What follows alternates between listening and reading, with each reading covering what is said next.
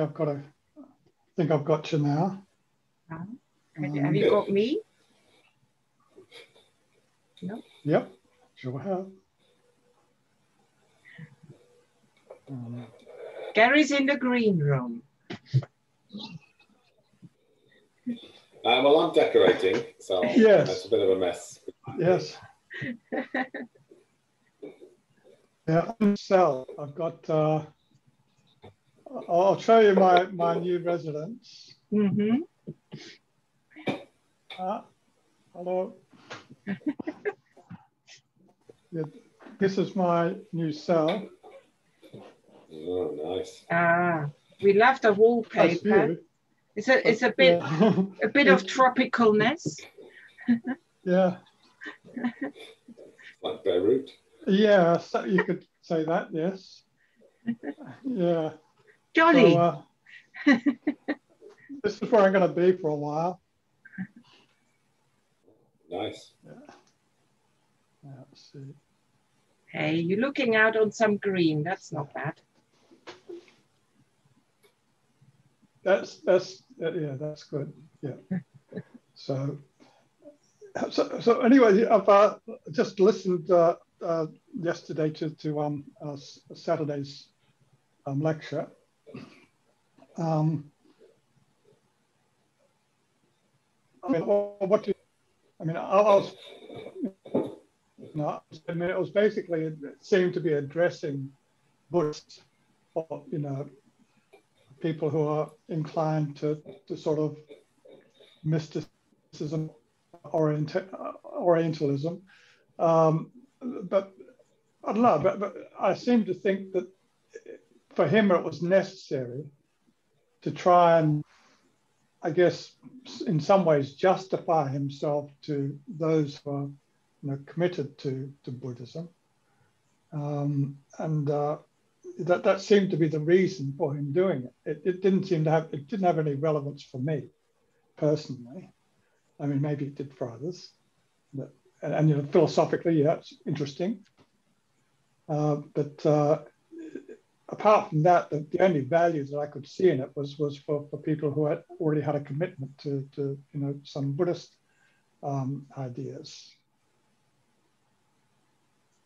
Yeah, I, I agree. I, I'm that's what that was my take entirely. I just thought he was saying you can't have noble truths because they're neither noble nor truthful, and uh, if you do, then you end up with, with Buddha as a god. The only interesting bit, I think, was the separation of ontology and S and what's it called?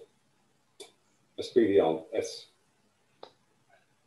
S. What was that? Epistemological. What can't? Epistemology. Epistemological, thank you.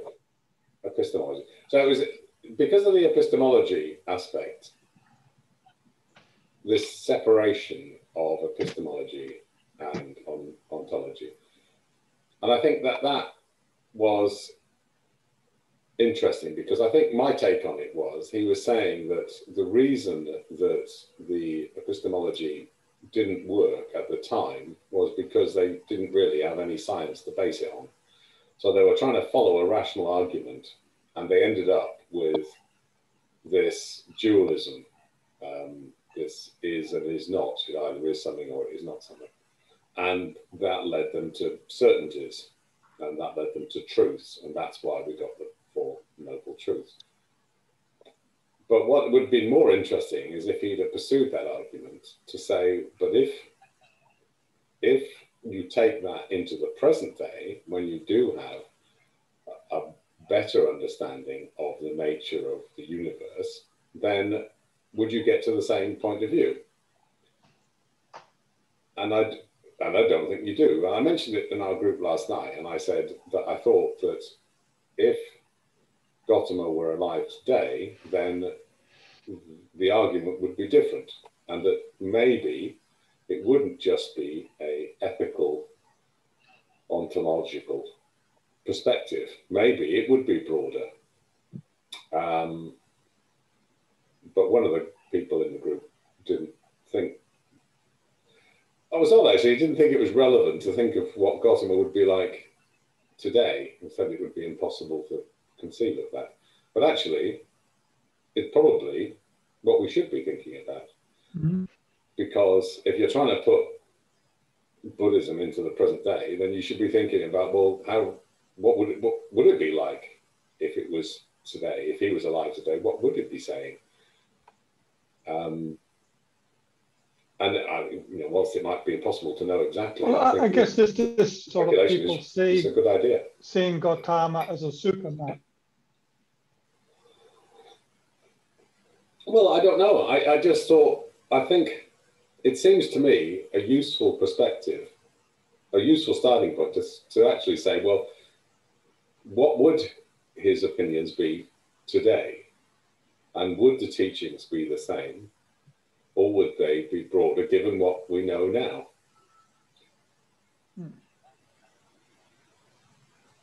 Hmm. Not sure. Because, I, I mean, if you say, let's take you know, what we maybe glean as the kernel of a kernel of his teaching, like the four tasks. What would they look like in our modern time with our epistemology, um, with our science? I think that is a very useful step. Um, but I don't, I'm not sure about the person because we are so bound in into our era, into our um, into our understanding. You know, most of it, like you know, is our world and therefore transparent to us. We don't even know how uh, it influences us. So I, I don't think you can. For me, that is difficult to to hold him, hold a person out of his time. Mm. I don't think that is you know, I, he would fall apart. He, he's so of his time. Well, obviously not. I'm not taking. We can't take somebody from history. yeah.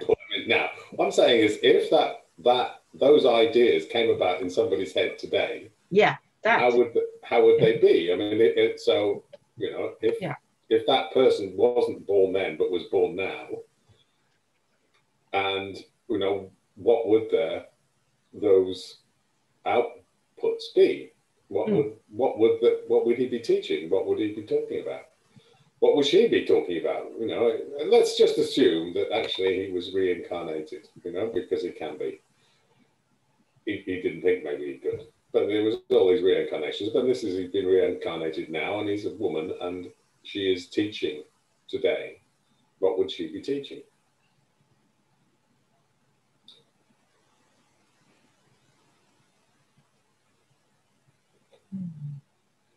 Would she be like Stephen? I don't think so. You see, I, I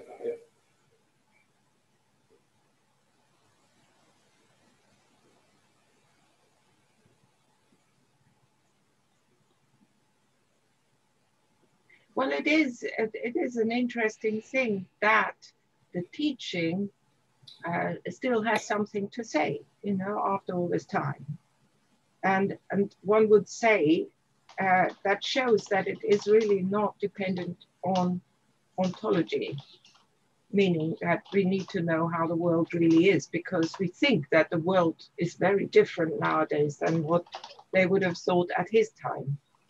And it seems to survive that, that the, the um, an essence of his teaching seems to be not dependent on it. Otherwise, for starters, we secular people shouldn't have anything to do with it. It should be completely um, irrelevant to us, but it isn't.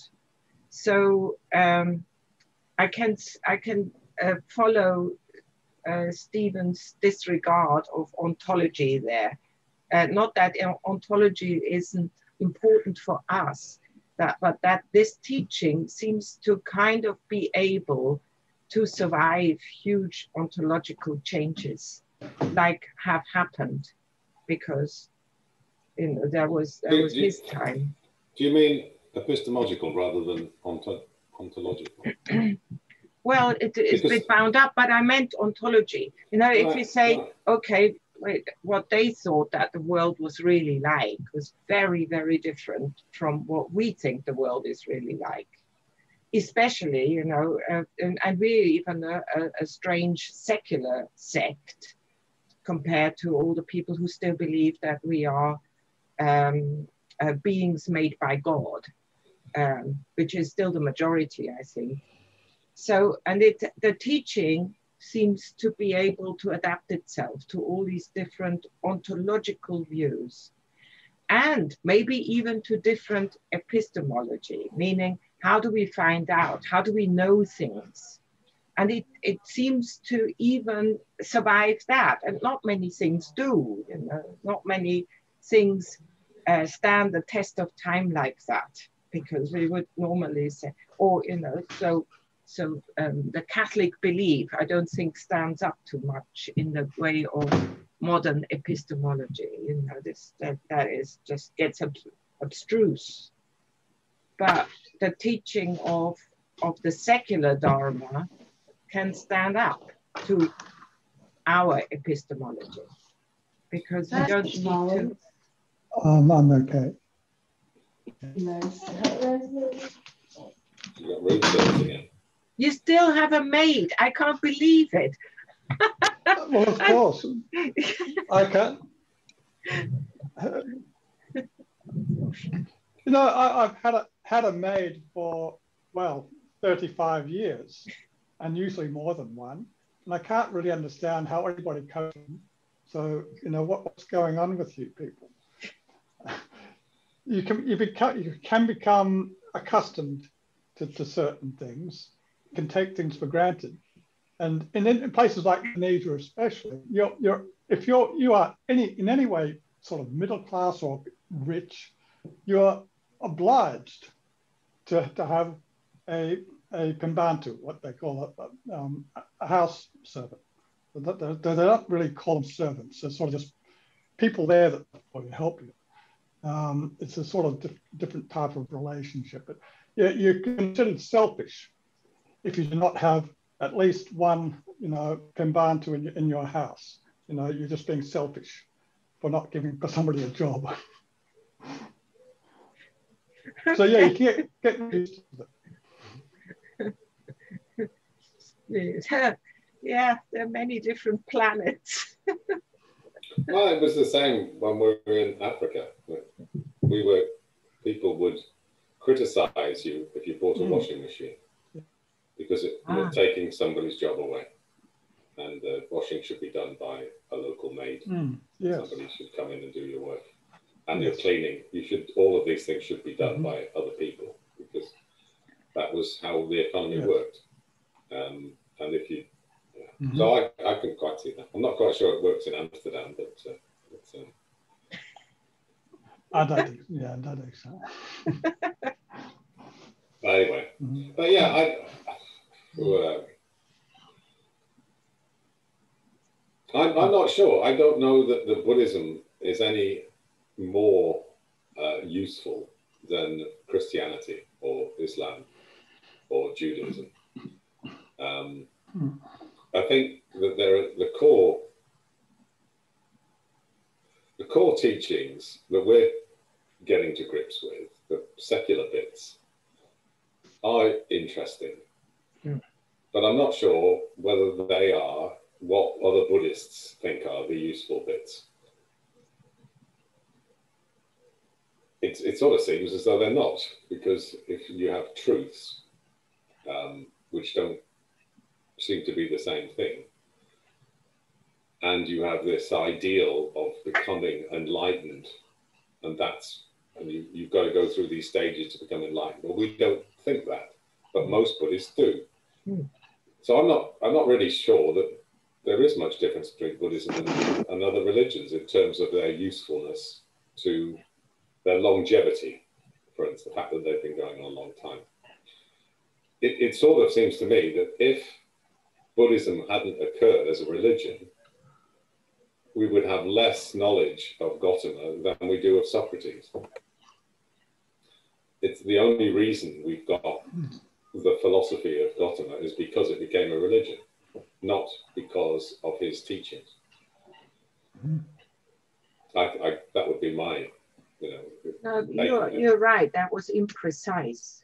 It is true that Buddhism, mm -hmm. I mm-hmm. think, is no more uh, useful than Christianity, and uh, that what we might find useful in hauling into our century uh, is not uh, agreed by many Buddhists. so yeah, yeah.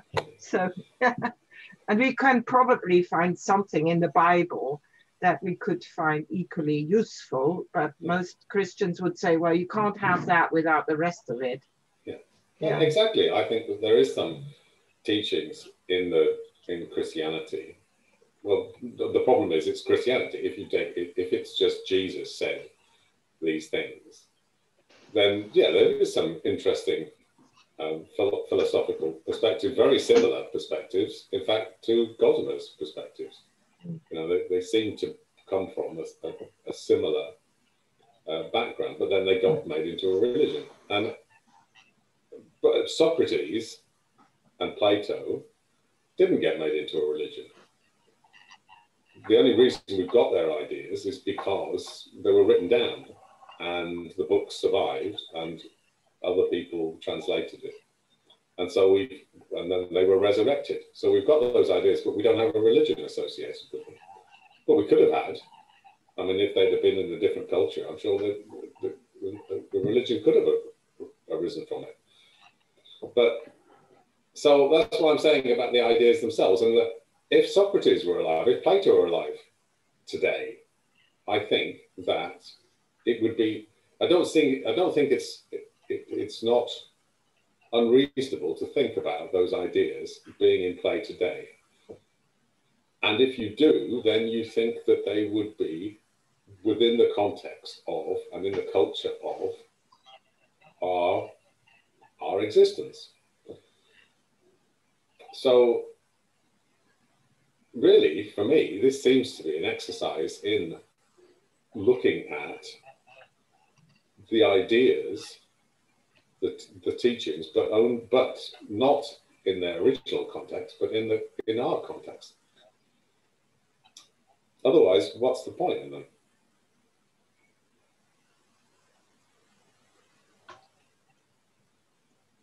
You know, th there's um, um, interesting sort of vocabularies that, that I've sort of seen happening.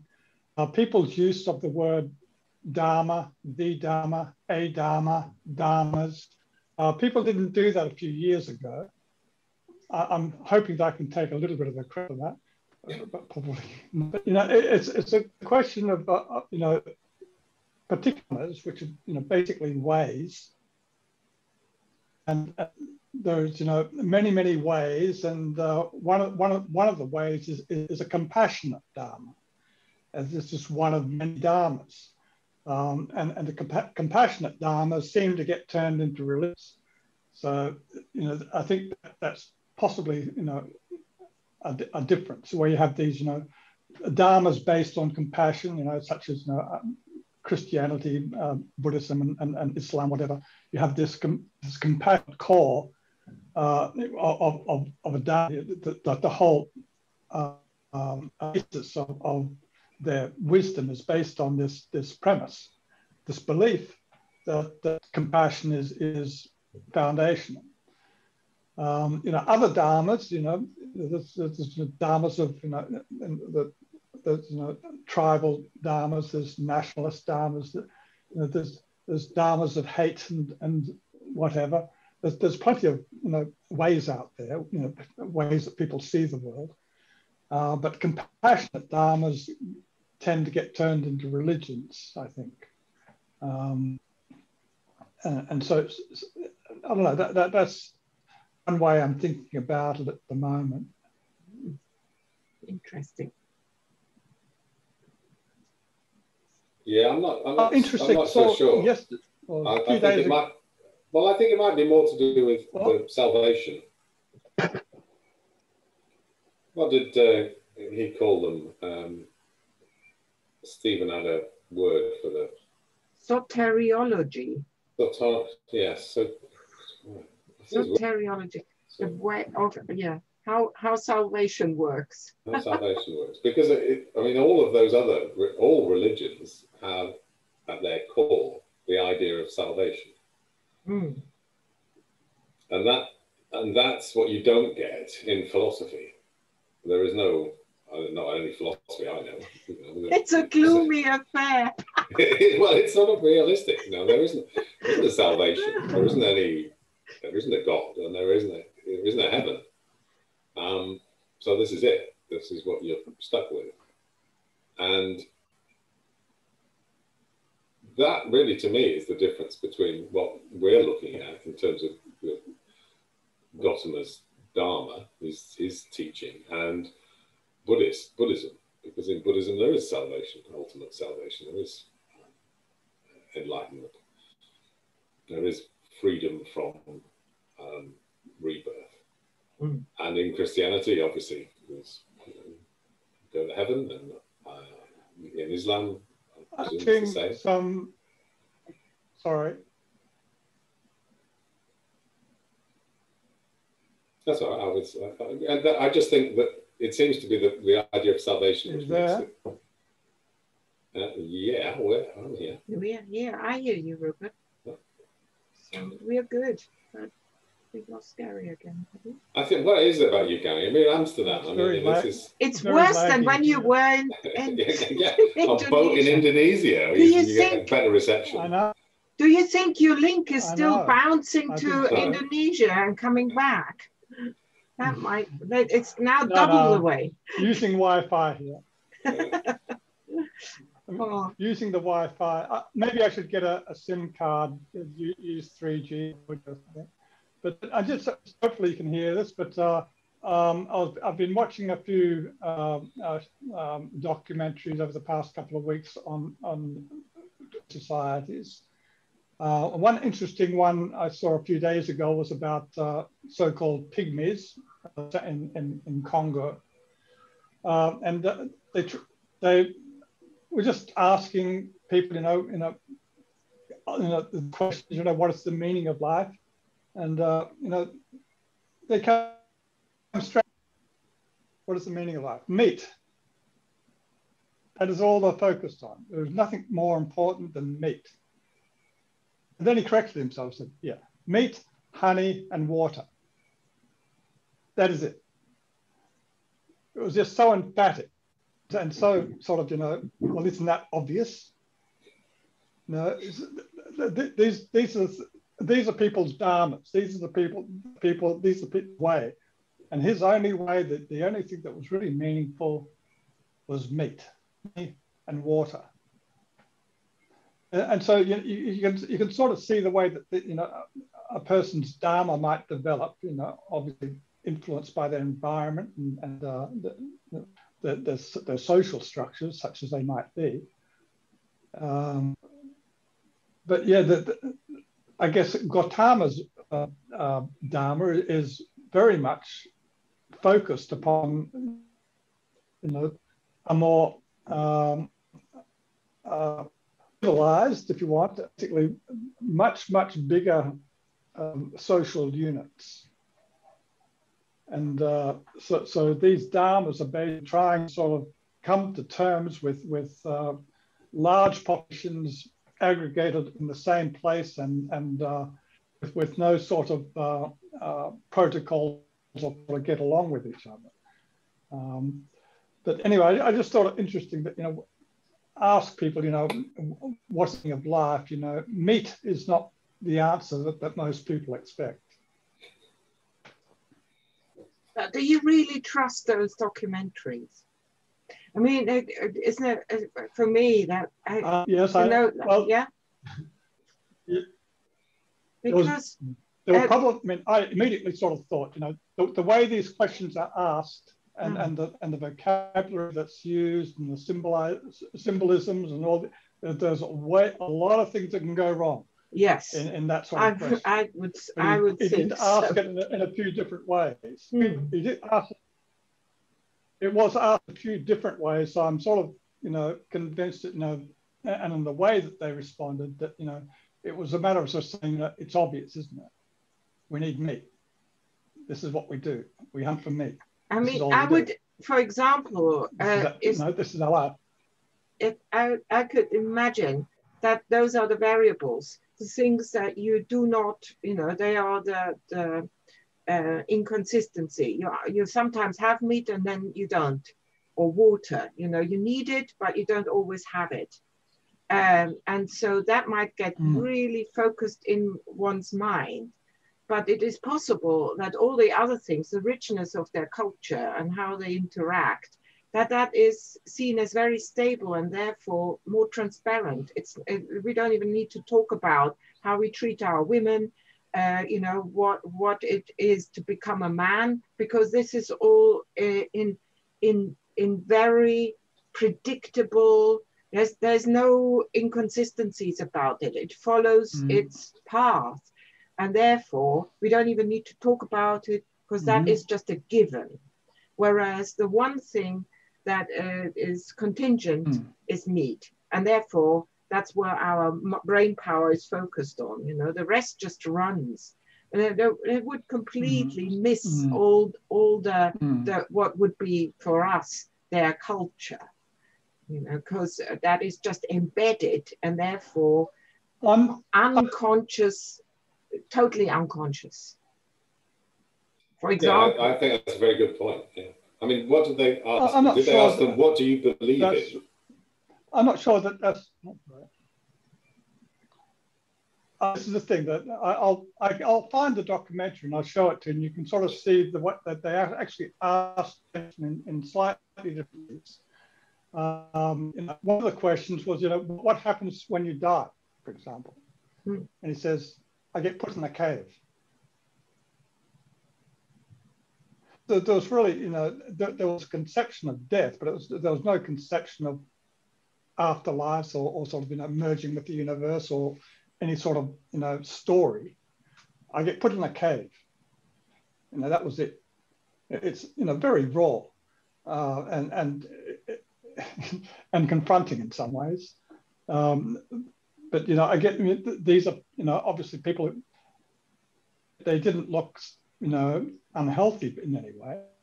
Seemed to be you know health, healthy human beings, but the, the, the, struggle for existence was just ongoing and non-stop. They didn't have food. Um, you know, any any food they got was just eaten straight away or, or, or, or at best uh, uh, kept for a few days. Uh, you know, that, that, that's, the, that's their entire existence, not, not just for a few days, but every single day was, was, that was the, the that was the, their way. That was the way they did their life. Um, no conception of afterlife or you know um, the universe or any of these sorts of things. It was just you know their immediate focus, meat. And then, and, and, and, and this guy piped up, we need water, water. Um, you know, water good. Drink water, you die. So, you know, all, all these things sort of point to sort of, you know, very fundamental um, concerns. Um, and, and those, for, for that tiny ability was, were, were pretty pretty clear.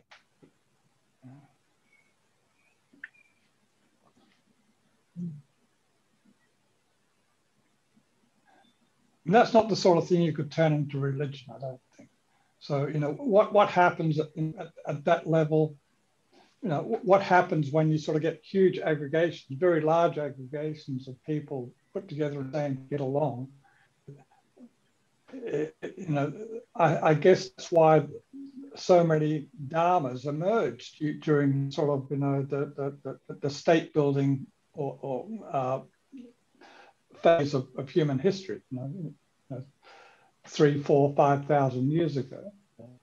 Um, transition from, it's not even a transition, it's sort of a very transition, uh, a nomadic existence, completely nomadic and a, a semi-settled type in which people have more to, to sort of uh, to, to, meet and, and to, to aggregate. Yeah. Well, I, I don't think that. Not sure I'm going with that. Well, if, if you're in a nomadic existence, why do you need religion? Really, you only need religion if you want to control people. and yeah, you know, you're gonna if you want to control people, you need a lot of people together that you can control, and so you need them in settled communities.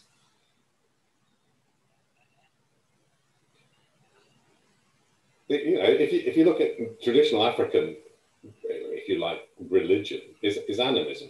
It, and, it, and that is not a hierarchical religion. There is no, mm. there, there, just there doesn't exist. But animism is just effectively a belief that it's a bit like Buddhism. It's a, you know, or, no, it's more like Taoism. It, it's a sort of it's the sense that everything is alive, that the, the, the whole world, everything mm. that you see has has spirit, has life.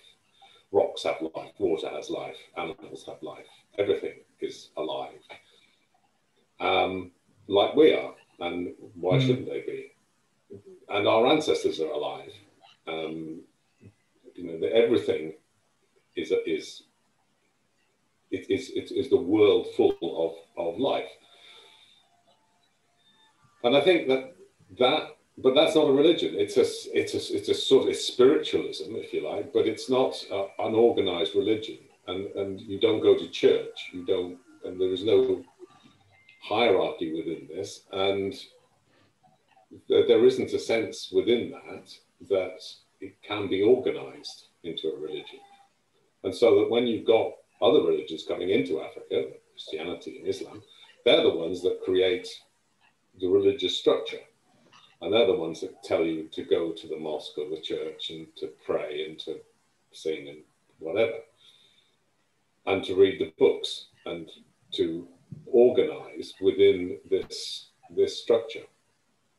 So I, I, I think I don't know what I didn't see the pygmy uh, documentary, but yeah, it would. It, I suspect if they have any religion, it would be an animist because that's what most people in Africa uh, believed before they had any other um, organized religions. And it might be not talked about because what is there to talk about? Well, exactly. I mean, I've you know, I, I, I know about it because I lived in Africa, but I mean, I mm-hmm. and, and, because I've read about it. But mm-hmm. yeah, yeah, Africans don't talk about that particularly. Mm-hmm. Um, the one guy I did talk to was was actually he only talked about it when he converted to Islam, which I thought was quite interesting. So maybe then he was comparing it mm. with another mm. religion which he had now adopted. Um, because then he was talking about witch doctors and the power of them and mm. so on. And, and but before that, we would yeah, we would just we we would we wouldn't discuss those sorts of things. It just like like you were saying, it, Elfie was saying, it's just yeah, that's just life. That's just how things are. Well, I guess when people date in, in larger numbers, is that there has to be some sort of uh, social contract, common understandings, uh, common, um, you know, um, and I, and I, guess you know that, that could be you know one of the bases of of, of uh, you know, the necessity um, for for religion is is to, to have common social contracts, to, to common understandings of uh, of you know, you know, manners, beliefs, you know ways of doing things. Um, I mean, I mean, even you know, very minor things in, in Western culture, for example, or in, in West, what perhaps used to be in Western culture, like for instance, opening door for for, for uh, a woman, for example, for a man. It's just accepted that a man opens a woman for uh, opens a door for a woman. You could sort of put all sorts of you know uh, judgments about you know what that might represent, but it's it's a convention. It's just the way things are done so that people know that that's what people do. Or, or you know, these very tiny sort of little social conventions that people do basically make life easier for, for society as general. These small rules, um, which, which, you know might seem minor, but you know together they sort of form a, a contract. You know, that you know, this is the way we do things. This is our way. Um, well, even, even in, well, I hear that even in Scandinavia, perhaps even in, in Holland, uh, that, that, you know, men will, what, what, is, what, what actually happens? Um, women are sort of given a first place in, in a lot of situations, which don't happen in, in other Western countries. Um, and, and that's not the thing, you know, it, it seems to have been um, which, you know, given the, the sort of know, confidence that, uh, um, women in, in, well, in Europe, or, well, Spain and well, you know, Germany and Netherlands and whatever, uh, they just seem to be they seem, they seem to be more confident compared to, to, to, to Western women in, in, Anglo countries, for example, in uh, you know, UK, US, Australia. Uh, that doesn't seem to there's not that social contract, uh, uh, and and that there's not that same confidence. Women don't have, have the same confidence in Anglo cultures. With other you haven't met my daughter, have you? Uh, just looking at the way things appear to me. Sorry? I said you haven't met my daughter. You're talking about women in. in Might have uh, lost you. Uh,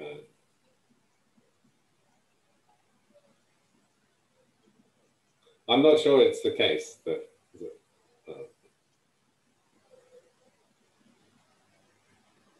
Uh, you're frozen, Gary. Mm. You've gone away. No, my goodness. I don't know. I, I mean, to bring it back, I, I thought last night it was interesting. Ah, you want to continue? You're back. It for me, it seems like, you know, uh, uh, yes, you could see that Stephen is banging away at this ontology a bit and that this is just task-based ethics and all that. And that, that we need to really get there and say, yeah, yeah, I get that after so many years. But I was just really surprised in our study group yesterday, you know, how easily it's, it's coming back that even the people who seem to be fully paid up secular Dharma guys um, would suddenly say, oh, well, actually, when you look into the sutras and how you actually do the, the, the tr four truths, how you go about them, it gets very pragmatic and they don't look at all different from what Stephen says. So what Stephen says is actually not new and uh, not that um, uh, big of a difference because when you when you get into the nitty gritty, you know, the truths get very pragmatic and very similar to what what uh, Stephen says. And then that, uh, you know, it was uh, endorsed by another person in our study group, like, yeah, yeah, that's absolutely true. So, uh, you know, it's not all that different, really. And I say, whoa, you know, there's just there's a massive ontological jump here, you know, from religion and that we believe in this and there's a God-like figure around and there's eternal salvation. And and to the secular dharma uh, this massive jump and you just make small of it uh, as if it weren't a big deal. I, i'm fascinated by that. And i say okay so stephen and this is within a group that has studied with stephen for, you know, most of us have been on the two-year course and and and there's many on on the big course that uh, hardly have read one book about from Stephen. So to for him to bang on about it, I think seems to be still necessary, you know, to even with uh, experienced people that this is no small fry that you to hold it out of religious belief. Yeah, I think you're right, and I it, it I find it. I was finding last night. I was finding quite difficult because there was. It was difficult to talk to people who don't seem to have the same understanding of what we were talking about. And I've, I've found this a couple of times. I've said things, and then it, it seems just not to. It's as if you're talking to somebody in a different language almost, um, because they're. If you have a fixed viewpoint, then it, it's quite difficult to find a place in the middle where you can have a conversation.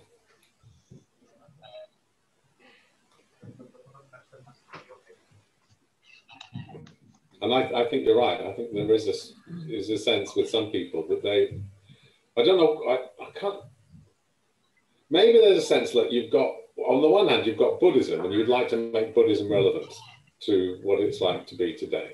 On the other hand, you've got us, which is to say, here are some interesting ideas, and we'd like those, we can see how they might fit into a worldview.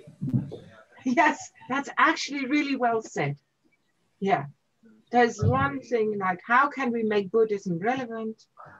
And there is another view that says, have these ideas anything to say to me? Yeah. And I'm I don't care about Buddhism actually. Yeah. You know. Yeah, well, and I feel every time I say I don't care about Buddhism, I feel I'm just turning people off in that group because they just think, well, why are you here? You know, if you don't, and I, it's only the ideas, and oh, and those ideas have to be tested to make to see whether they're relevant.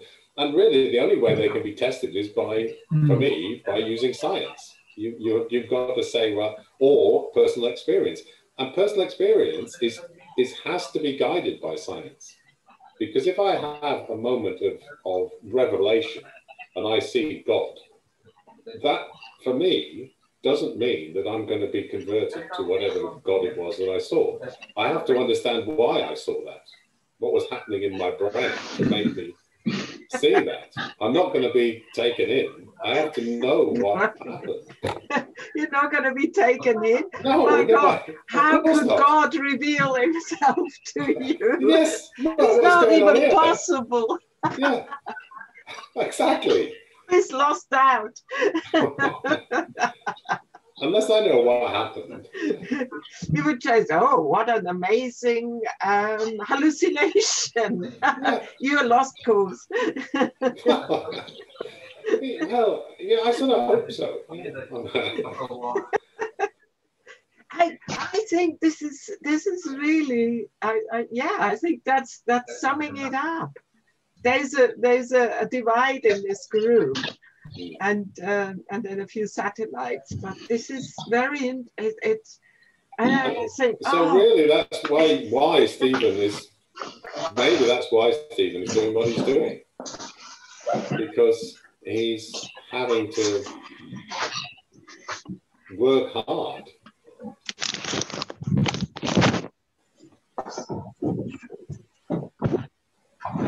Well, Gary, you're making a lot of noise, but it's not a language I understand, mate. Oh. Mm, we haven't we? Yeah. Move to the window. Oh.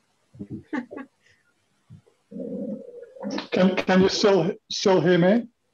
Yeah, you're back. Hey, Yeah, I, I could hear that. We can't see you, but Am I? Oh. I've turned the video off just to see if I can save some bandwidth. It's not doing Yeah. a lot of good. Right. yeah, well, uh, we can at least hear you. Yeah, so no, that there's might be a good world, move. world countries in Europe that's really Hmm. bad internet. Mm. well, I do like to see, see some moving pictures. It sort of keeps me engaged. So I'm easily distracted. So, Are you now? well, well, yes. Uh, anyway, ho hopefully this, this will be recorded better on, on, the server so I can sort of listen to it and um, pick up all the stuff I've missed because the, the, the, reception is really quite choppy. Mm. I'm only catching about half of what everybody's say, saying, which is a bit frustrating.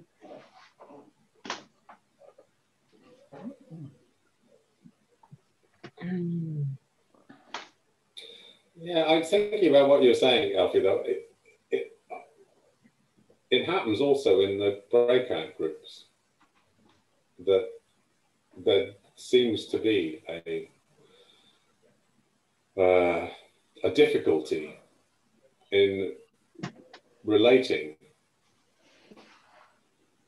to things that Stephen's talking about. And quite often, what happens is that it gets the conversation sidetracked to something that is more safe ground, is is sort of like, well, this is something I understand, and I'll talk about that, but I'm not going to talk about what Steve was talking about because that is is something that is new,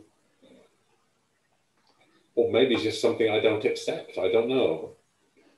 But thinking about it, it happened in the breakout groups last week, uh, and they were, you know, we, we were talking about this the idea of concepts to begin with, wasn't it? You know, what levels of concepts there were. And I was saying, well, like, you know, there are concepts. As far as I can see, there are. There are. Well, I was trying to address the point, but other people were talking sort of around the subject as if, because it really had nothing to do with Buddhism it had to do with what is a, con- a concept. And I thought, yeah, well, that's sort of that's sort of quite interesting. But there are only one. There is a, ultimately there's only one type of concept, and that's the one that you, you create. But in order for, for other people, it, in my group, clearly it didn't make sense to think in that terms. You because that wasn't thinking about Buddhism. So why would we talking about it? We should be talking about Buddhism. And so they started talking about some other aspect, which was sort of how they felt within their, their Buddhist life. So it is this difficulty of, of trying to meet somewhere, trying to find somewhere where you can have common ground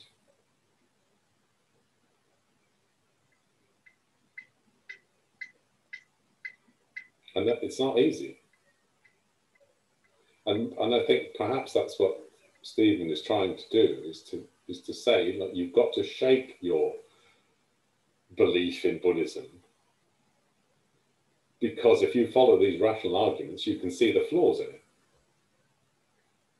I mean, Gary last night, not our Gary, Gary was it Born? Is his name? Was talking about he teaches and is teaching at the moment Four Noble Truths. Mm. And you thought, well, hang on, have you not been listening? Because do you not question what you're teaching? Yeah, I was just flabbergasted as well and said, how can you teach this stuff? Yeah. How can you, how, how is that even possible? yeah.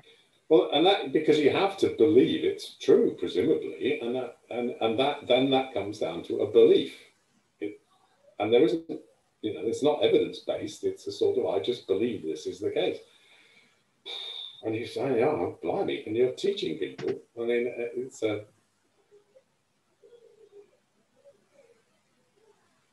yeah. I don't know. I find it. I, I find it that quite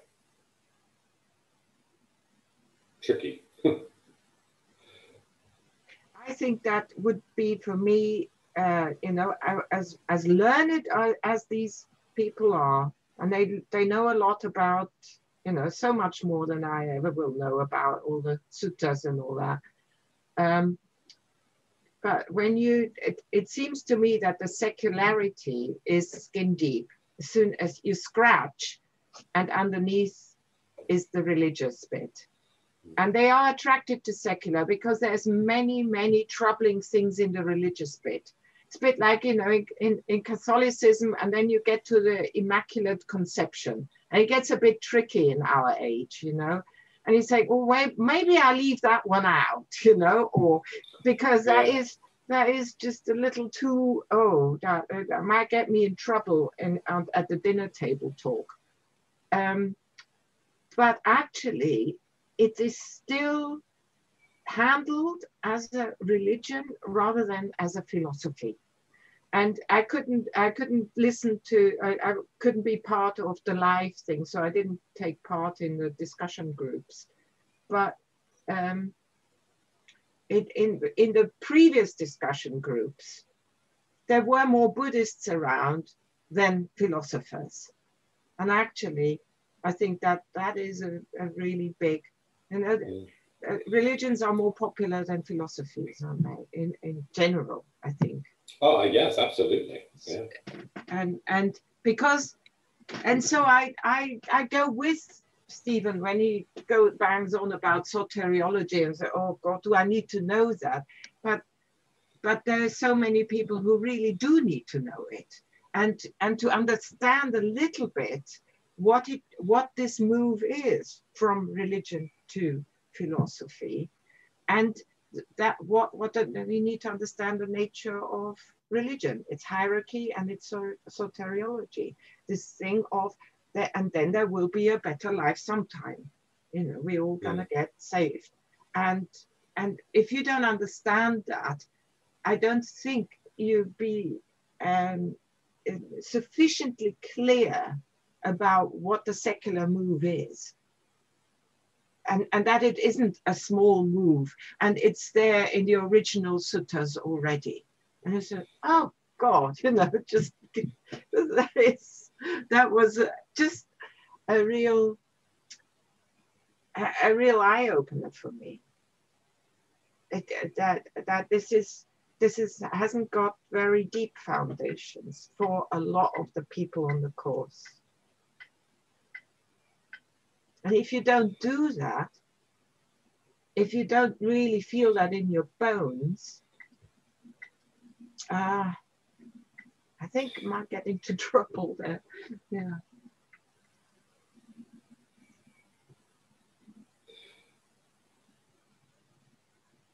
Yeah. Yeah.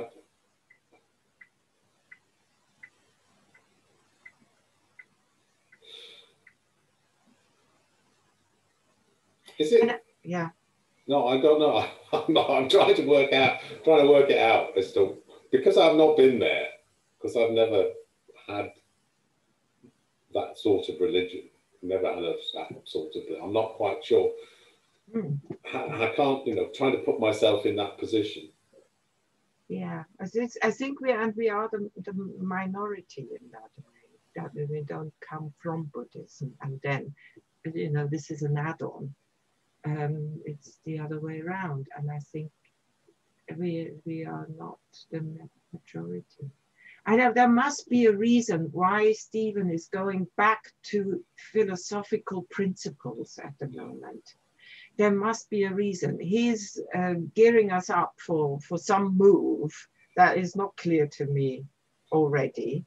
And um, I just have to, you know, it's it's like um, I, I really mean it. It's like the, you know, this move of, you know, there's something new coming from our from our um, star like Bob Dylan, and and there's a lot of unease about this, and and we we're not uh, altogether sure we like it. We I I feel his insecurity about that, his uncertainty about uncertainty almost, And- yeah.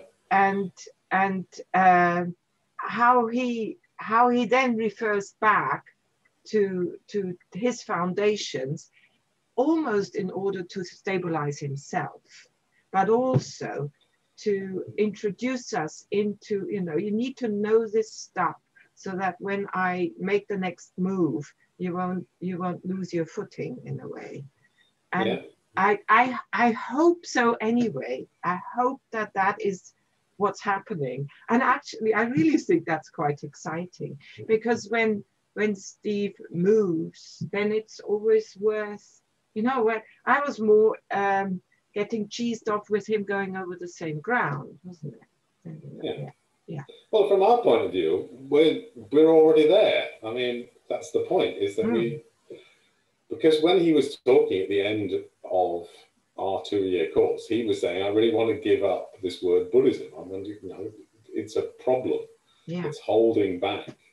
But he's he's recognizing, I'm pretty sure, that that's a very difficult thing for most Buddhists, most people who have come to Buddhism to to let go of. They're not going to let go of the word, and and they're not going to let go of everything that it represents. Not without a struggle. And I mean, do they want to? I mean, it, it,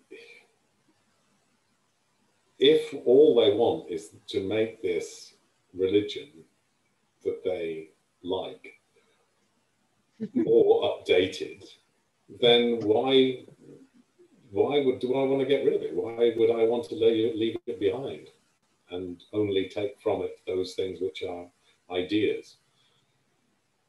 It's if it's more than ideas, if it's a way of life, and it and it has deeper significance than than ideas, then uh, why would I let it go? Why would I leave it behind? And I think what Stephen's trying to do is to replace it with something else, almost ready made. And he knows he can't do that because he knows that if you, he, talks about the way that Buddhism has adapted to different eras, and that's one of the things that's why it's lasted a long time. I actually think that's a big mistake. I, I, I don't, because the thing that's changed is a religion. And the, yeah, religions change. Christianity, no doubt, has changed to adapt itself. But I don't think that's a good starting point. Interesting. I, I never even thought that. Yeah, that's that's cool. You know, yeah. it, it's not that Buddhism changed, it's that there are some core ideas. Yeah. And yeah, they are, and they are interesting. But let's just take them and get rid of Buddhism. I mean, you don't, you, you let's take those core ideas and other core ideas, which are useful and interesting.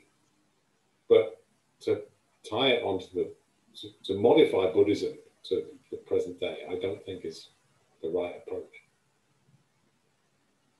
Mm. It's hard to get the religion out of Buddhism, isn't it? it is. You can't do it, actually, perhaps. You, well, you, I think you can't. And that's why he said, didn't he? He wants to lose the word. But if this were not called after Buddhism, or well, whatever, wherever it is called, then you wouldn't get these hundreds of people, I guess, on the course. I, I've signed up to another thing called the Middle Way, and I haven't actually responded to any of their stuff. I've been distracted, but I think I, I will now. To, and they, they're a splinter group because they started from um, talks, but they've gone off in a I guess, in a more uh, secular way. And the, the fact that they're calling themselves the middle way, which doesn't have Buddhism in the title, maybe it suggests that they've come to a similar uh, conclusion. Ah. And they are, they are, you know, I must meet, yeah, the middle way group. Yeah, I've got a, um, as, as I say, I signed up to it. Is that what, like a Facebook? Um, it was uh,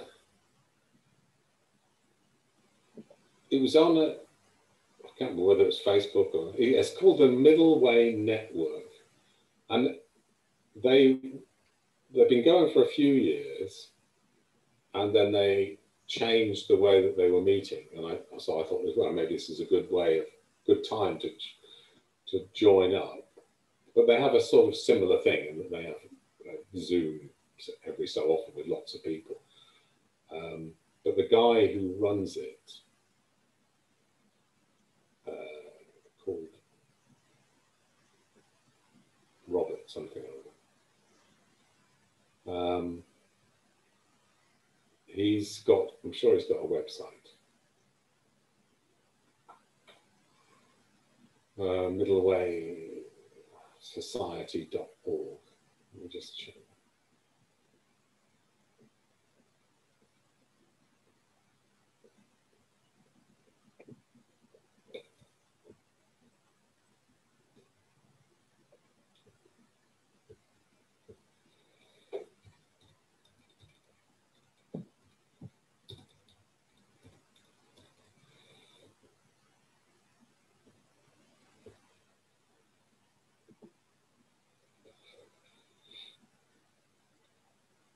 Yeah. Um, so the, the website is Middleway Society, all one word, dot org. Mm, okay. Um, and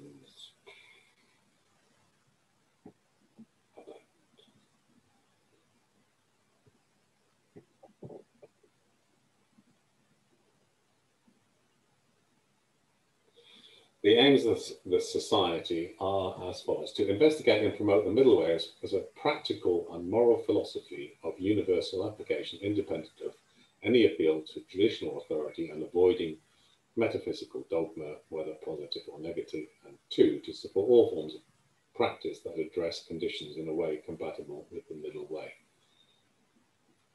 And so that's interesting, there's no mention of Buddhism, but that's they, they certainly came from uh, interest in what Stephen was talking about. But yeah, if we have a look and see what you think. Mm, I will. But I will, I will sort of get back and see if I can actually attend one of their meetings.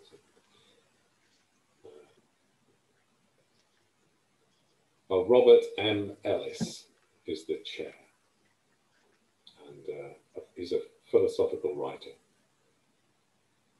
He's developing, been developing middle way philosophy since 1997, initially from PhD, published a number of books. Uh, oh, the, the Christian middle way, the Buddhist middle way, middle way philosophy. He was formerly a member of the Triratna Buddhist order, but is no longer committed to any religious tradition, although inspired by elements of both Buddhism and Christianity. Mm. Yeah, so it's a. I think that that's why I thought this was, was sort of interesting. But then I, I, I thought it odd that Stephen never mentioned it. Um, anyway. Yeah.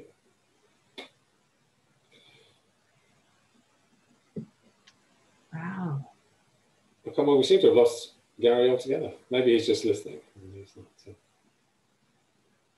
not talking. We lost his attention. That's possible. yeah, quite. Very possible.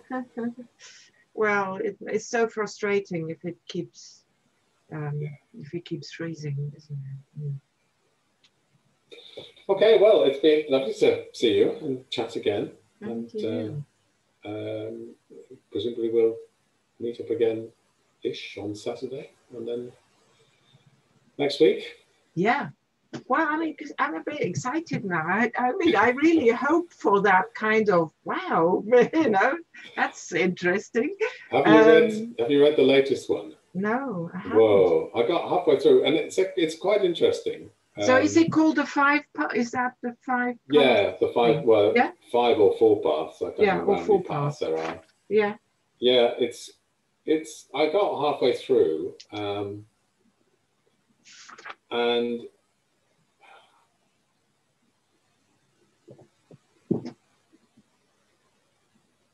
it's it's again going back over stuff that we've covered before, we've covered before, but I think is obviously new to to other people. Um, so it'll be interesting again to see how, but he is sort of hammering home this idea of, you know, you know, this is sort of secular stuff. It's actually ideas. It's not a religion. But we'll see, see how it goes down next week. Mm. It's an interesting read.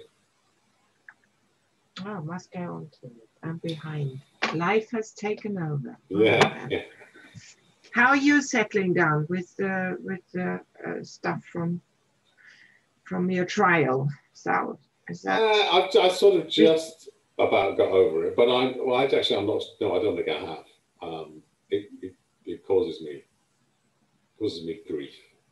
Causes me to lose faith in my fellow person, my fellow travellers. But I'm not, I'm not sure why. I'm not sure why people were like they are. That's a, it's a bit of a problem. why, why don't they think more? Uh, anyway, no, it's uh, um, but yeah, I've, I've, sort of let go of it being my fault now, so, mm. which is, yeah. But there is a, I suppose, uh, yeah, ultimately, it's difficult. It, it's just, uh, it was a difficult time um, and uh, I'm just glad I'm not on trial. You know, I think what's interesting is the concept of justice, because justice as an idea is an interesting thing. And what does justice mean? And you think that you've got a, a structure which can enact justice. And in this particular case, it failed, in my opinion, to enact justice. And I, uh, and yet, is this the best there is? You know, is, is, is justice more likely in another country? Or is this as good as it's ever going to get? So, what's it's I it's the difference between having an idea and putting that idea into reality, isn't it? It's what we're talking about. It's sort of like you can have all these ideas, but if you if you if they don't come to fruition, if they don't enact themselves in in the life, then what's the point in them? So it's a bit disappointing. It's a bit sort of hard mm. to mm. you know. You think, well,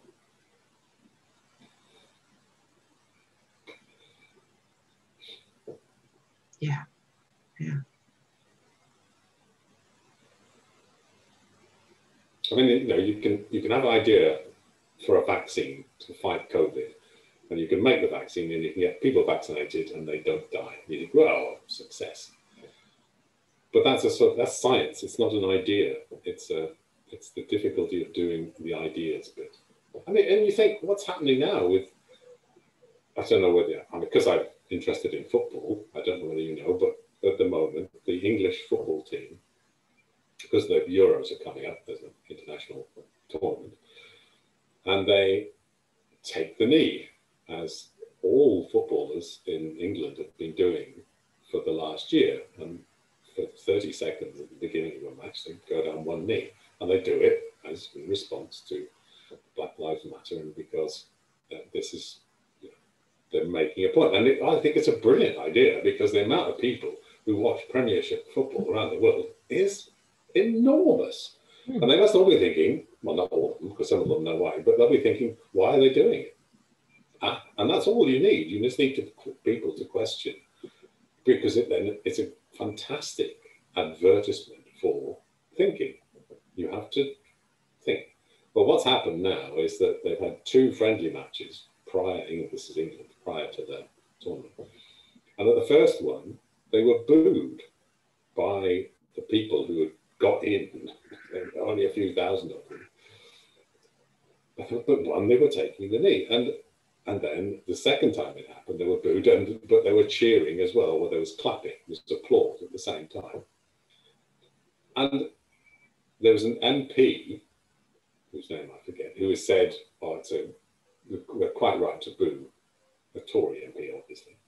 And now Boris Johnson is saying, oh, well, I can see both points of view. I can see why it's okay to take them. I can see why it's okay to boo them. And that's our prime minister. So it's okay to be racist, apparently, according to our prime minister. Maybe that's because he's racist. I don't know, but it, it's just depressing. When you've got, there is an idea there, which racism is not a good thing. These people many of them are young black men who have been racially abused, um, are saying, well, no, you know, actually it's not, it's not right. You shouldn't do it. And they make in this small statement and they're being booed for it. And our prime minister is saying, yeah, that's all right. Boo away. That's shocking, it but they're not surprising. I mean, look at the man. I mean, I, I, I, know, I suspect he's not, but I suspect and hope that our Prime Minister is not racist. Uh, but I'm pretty sure the reason he's doing that is because he recognises there are lots of racists who vote for him. Mm-hmm. And that's really depressing. And that is truly racist. I think that is truly, but if you think yeah, yeah. that you know you need to be liked and uh, or approved of in that way, overrides uh, an ethical stance like that, I think that is just what racism is about. You know that that it just say uh, well, uh, I have a very good friend who is black, but in general, like that is that same kind of uh, of um, hard. Racism. It's, hard. It's okay. I don't know. It's just it's tricky and a bit depressing, but in fact quite depressing. Mm. Very depressing. Yeah. Well, on that happy note. Yeah, oh. I, well, my garden, I can see my garden out the window. It's looking lovely, so I'm going to go out and it's a mm. sunny day. I'm going to go and pick some more bowls. I went to my first um, Greenwood, or second actually, Green Greenwood carving uh, group. What did you do? Uh, I'm just my. Uh, I made a spoon, and I met a guy who makes bowls, so I'm making a bowl. Oh, it's good fun. It's good. Fun. Mm. It's hmm. quite. I'm now developing Greenwood meditation techniques, which is quite tricky yeah. because you've got a big axe in your hand. Got to be careful. to medit the axe meditation. Axe I'm looking forward to okay, the axe meditation. The next yes. one. After drawing meditation. yes. Life gets a bit more exciting now. axe meditation. Yeah, yeah. Action. oh. Okay. Well, lovely to see you. And, and, uh, and we'll see you next week. See you next week, huh? Okay. Yeah. Bye-bye. Cool. Bye bye.